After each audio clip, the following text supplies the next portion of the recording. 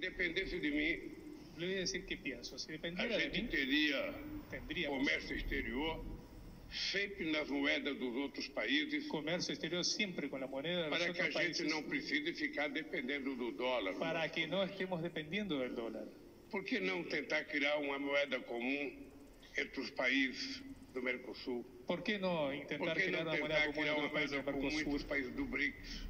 Como se intentó hacer con los países del BRICS? E eu acho que com o tempo isso vai acontecer. Creo que eso va a suceder E eu acho que é necessário que aconteça. y creo que es necesario que suceda. Porque muitas vezes tem países que têm dificuldade de adquirir o dólar. Porque hay países que a veces tienen dificultades en adquirir E você pode